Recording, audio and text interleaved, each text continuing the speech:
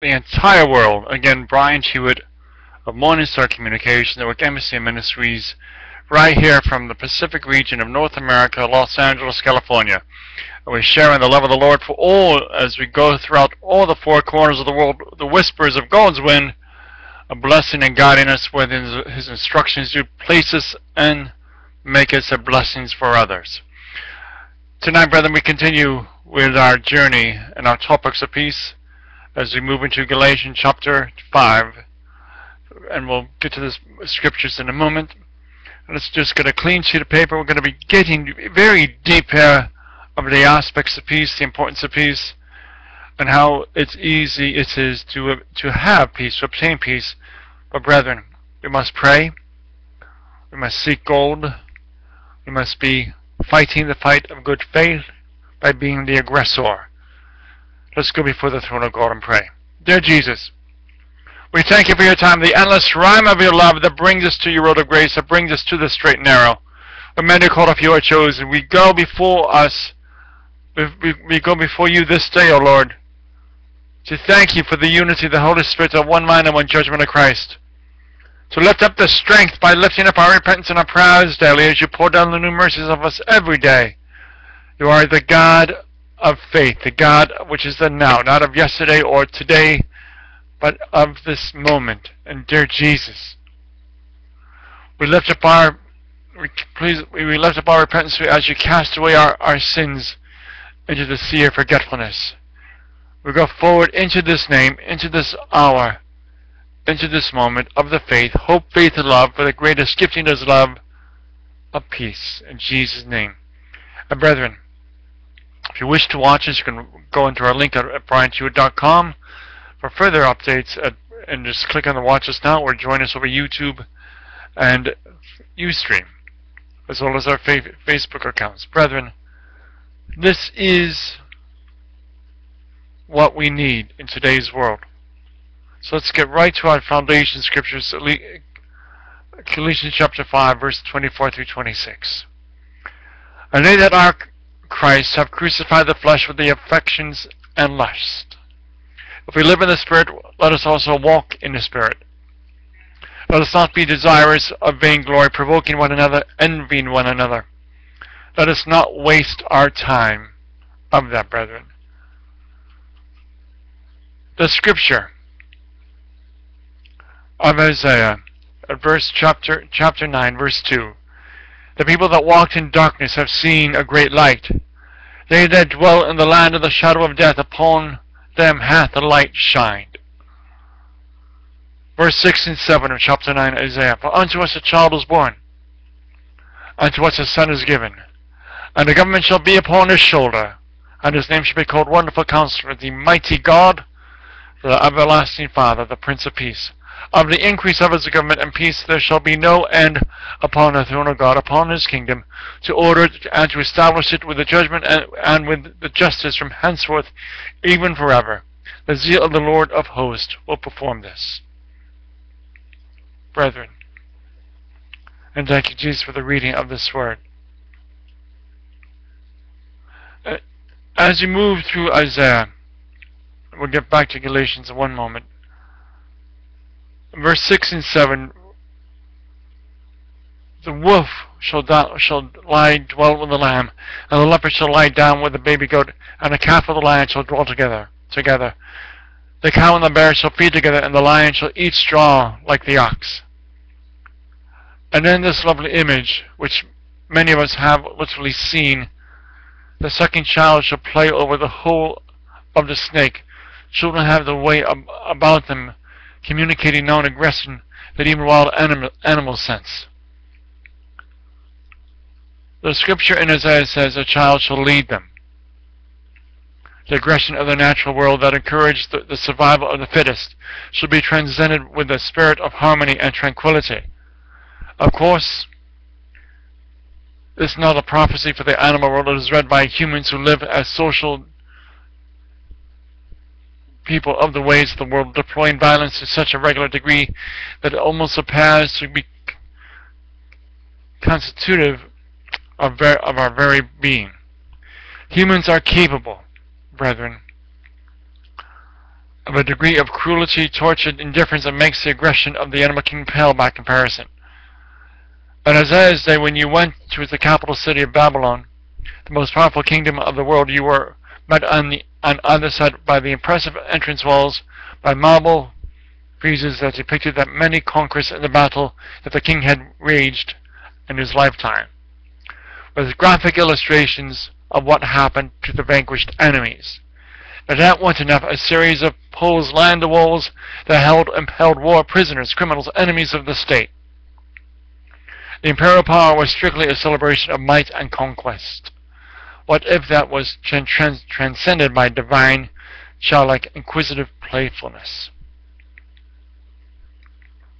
In this, the Spirit of the Lord rests upon him, the Spirit of wisdom and understanding, the Spirit of knowledge and awe before the wonder of God. Isaiah chapter 11, verse 2. How we come into the being, brethren.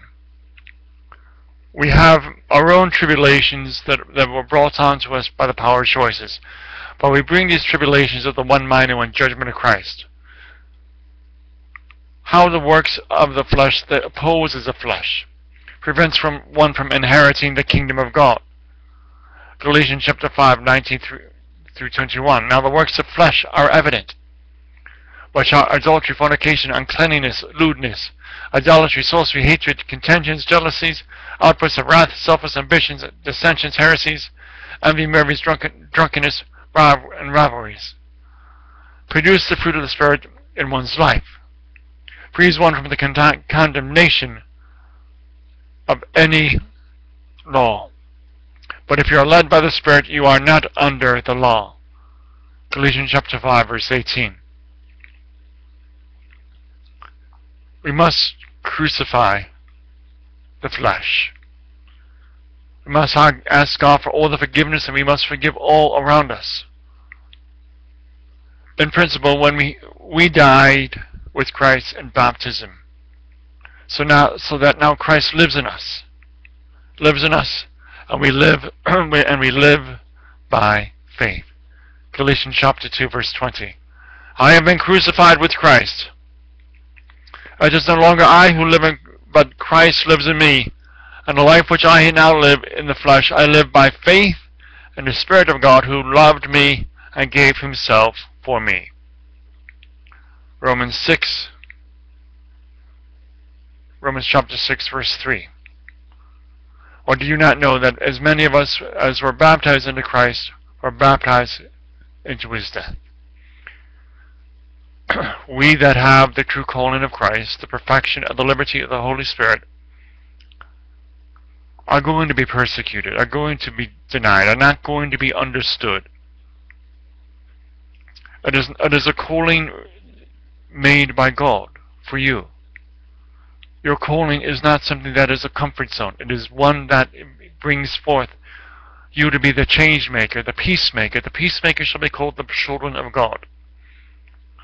The children of God, brethren. What more can we ask for? What more can we need? We need to practice what we do preach. For we sow what we reap. As we seek to put off the old man and put on the new, and pray through Galatians chapter 3, 5 through 14. We are taught as we are taught by Christ. As we are taught by the renewing of the Holy Spirit, one mind and one judgment of Christ, springing forth the liberty of the Holy Spirit. Ephesians chapter 4, 20 through 24. But have you not learned Christ? Indeed, if indeed you have heard him and have been taught by him, as the truth is in Jesus, that you put off concerning your former conduct the old man which grows corrupt according to the deceitful lust, and being renewed in the spirit of your mind, that you put on the new man which was created according to God, in true righteousness and holiness. Brethren, we are to put on the robe of righteousness, perfected by peace, perfected by perfection from the new heart that God has given to you personally. We have this expression, brethren, to be of one mind and one judgment of Christ, to walk into the renewing of the Holy Spirit, one mind, or the clarity, bringing into this time frame tonight. What are we going to learn from? But if we if we speak of war, if we do not allow peaceful demonstrations, but only want to annihilate these peaceful demonstrations by demonstrations of murder, of demonstrations of threats of poverty, threats of removing lifestyle. And yet, to those who are willingly to be oppressed by the oppressors, who are afraid to be lose the lifestyle in the name of Jesus Christ, you're equal to the sin of those who are oppressing you. You are equal to those by not allow, by not fighting the fight of good faith. By not being victorious that Christ has given you. You can you can certainly for the grace and the perfection of God comes without repentance. That is said often. I have said often. My wife has, says it often.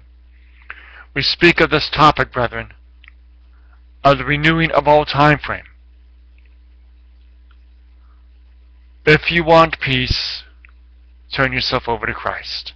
But peace must start with you. Defeating your own anger. Peace starts with you, the person. Be an example at home. Praying at at the kitchen table. Rounding the daily basis. As we start a day at home, we end our day at home.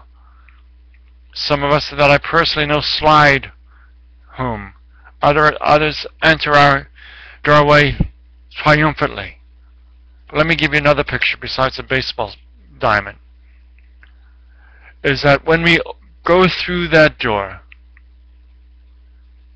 that door represents the door of faith. Your personal doorman is Jesus Christ. And He's bringing you every day to a new home called the house of salvation. We speak of the truth of the living language of God. We speak of the living knowledge of, of the power of the Holy Spirit. One mind, one judgment of Christ. In Jesus' name.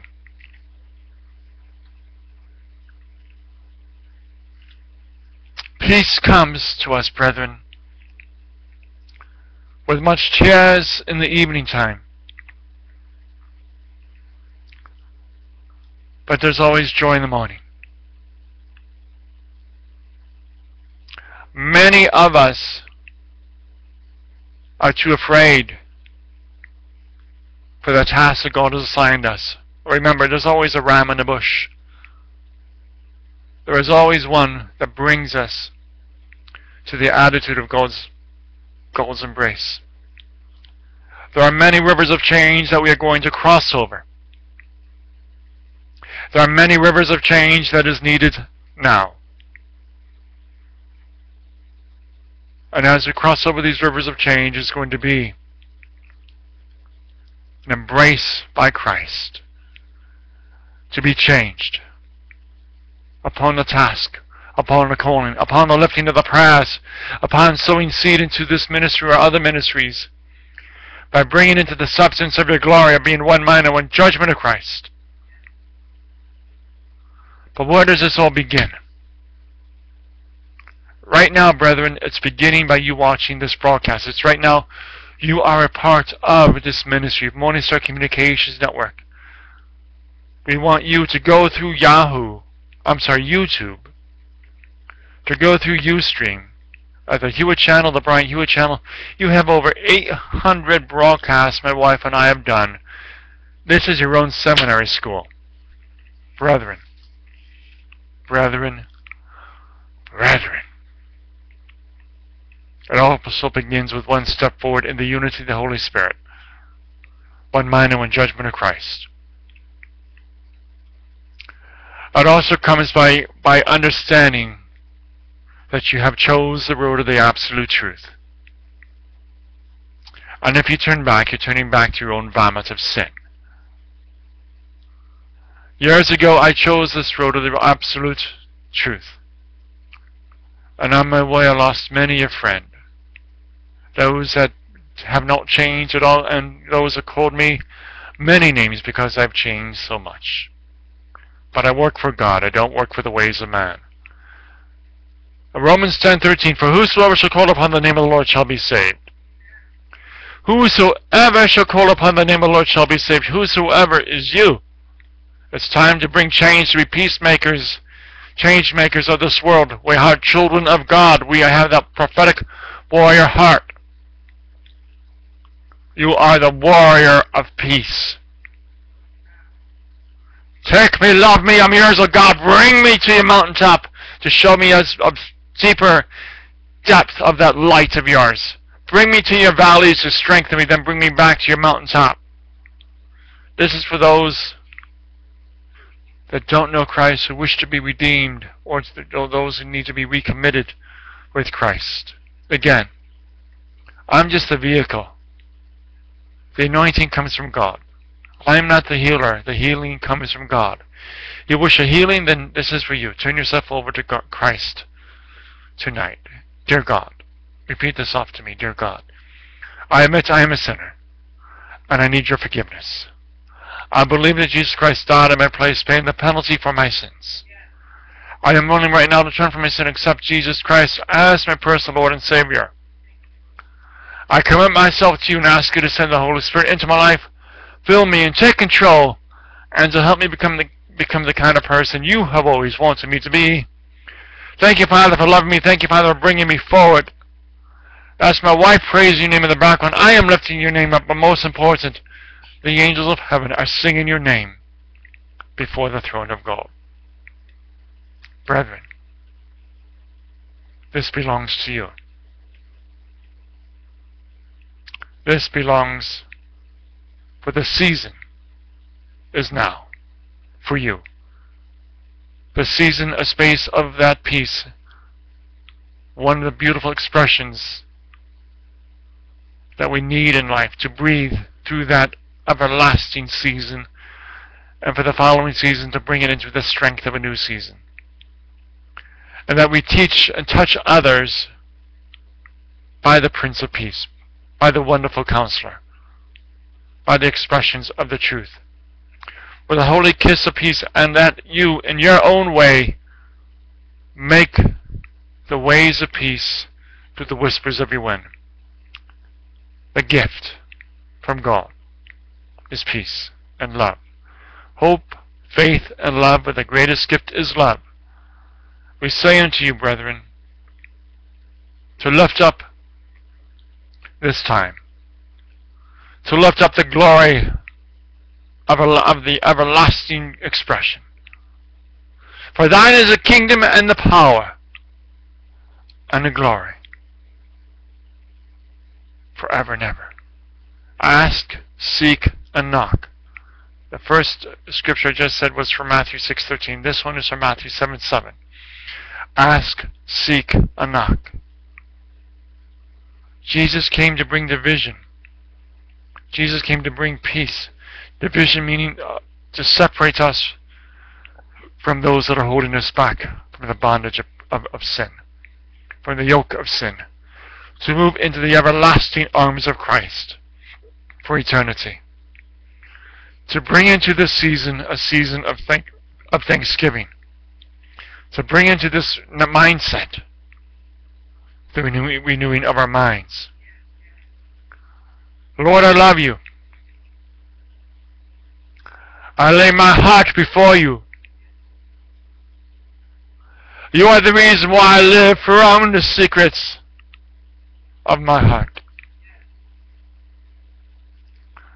Lord, I say unto you, I cry unto you, God. This is our way. This is our time. Our daily bread. Tonight. right now, tonight, to give us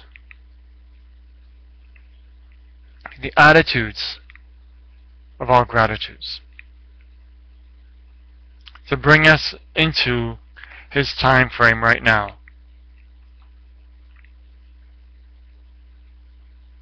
To bring the substance of his glory into the truth. For this is our time, our endless rhyme. Dear Jesus, we come into this time frame. We come into the renewing of your touch. To go, to live in the Spirit. It is the Spirit who gives life, which means He does in the washing of regeneration, the baptism. Titus chapter 3 verse 5. Not by the works of righteousness which we have done, but according to His mercy He saved us through the washing of regeneration and the renewing of the Holy Spirit. So that we can truly, so that we are truly born again of both water and the Spirit. John chapter 3 verse 5. Jesus answered, But surely I say to you, unless one is born of water and the Spirit, he cannot enter the kingdom of God. In the present, by virtue of his indwelling. Romans chapter 8 verse 11. But if the Spirit of him who raised Jesus from the dead dwells in you, he who, he who raised Christ from the dead will also give life to your mortal bodies through his Spirit who dwells in you. 1 Corinthians chapter 6 verse 19. Or do you not know that your body is a temple of the Holy Spirit who is in you, whom you have from God, and you are not your own? Ephesians chapter 4 verse 30. And do not grieve the Holy Spirit of God, by whom you are sealed by the day of redemption. Should walk in the Spirit. Not conceited, not favoring, not envying. We should walk in the Spirit, manifested by selfless ambitions contrary to the mind of Christ. Manifestation, manifest, manifesting instead loving lovingness of mind that leads to gentleness, the meekness. Verse Galatians chapter 5, verse 23, gentleness, self-control, against such there is no law. Are you walking into the Spirit, free from conceit? Philippians chapter 2, verse 3, let nothing be done through selfish ambition or conceit, but in lowliness of mind let each esteem others better than himself. We cannot provoke, we cannot envy. Manifested by, the, by conduct such as immorality, outbursts of wrath, manifesting said joy, peace, long suffering, kindness, goodness, faithfulness. Galatians chapter 5, verse 19. Now the words of the flesh are evident which are adultery, fornication, uncleanness, lewdness. Walk away from that. Manifested by hatred and jealous, jealousies. Manifested instead by love that does not envy, thinks no evil. 1 Corinthians chapter 13, 4 through 8. Love suffers long and is, and is kind. Love does not envy. Love does not parade itself. It is puffed up does not behave rudely, does not seek its own. It is provoked, thinks no evil, does not rejoice in iniquity, but rejoices in truth. That was 1 Corinthians chapter 13, 4 through 6. The peace belonging to peace, belonging to Christ. Those who belong to Christ are they who crucify the flesh in both principle and practice, live in the Spirit from their baptism to the present, should walk in, in the Spirit, producing the fruit of the Spirit. We truly belong to Christ. It begins with baptism into Christ. Galatians chapter 3 verse 27. For as, for as many of you as were baptized into Christ have put on Christ. It continues with a life of, of faith, I produce a whole new person. I have been crucified with Christ. It is no longer I who live, but Christ lives in me, and the life which I now live in the flesh, I live by faith in the Son of God, who loved me and gave himself of me. Such is the life that Christ offers, made alive in the Spirit, walking in the Spirit, bearing fruit of the Spirit. Is this not the life you want? The thief does not come except to steal and to kill and to destroy. I have come that they may have life, that they may have, and they may have it more abundantly. That's John chapter 10, verse 10. Brethren, Peace, like love, is endless the definition. We're going to be speaking of this, as I often say, hearing is receiving, but is hearing done. Hearing is receiving, but is hearing done. We see this time frame, brethren. We see the ornament of all truth. The truth is bringing us to His time to his love, to that expression. Let us go into the Spirit. Let us flow into this time frame right now. Moving into the whispers of God's truth and His love, guiding each and every one of us to be of one mind and one judgment of Christ. For in the matchless name of Jesus, and in Jesus' name, let's go before the throne of God and pray out. Dear Jesus, we thank you for this time, the endless stream of your love that brings us to your road of grace, that brings us to your straight and narrow, where many are called, a few are chosen. We thank you for this envelope of your truth. The truth does set us all free. It brings us to the mountaintop. It brings us to the time of repentance and the strength of our prayers daily as you pour down your numerous bottles every day. Give us the strength to say, Oh Lord, I want to know ever so, ever so more every day than I knew you yesterday.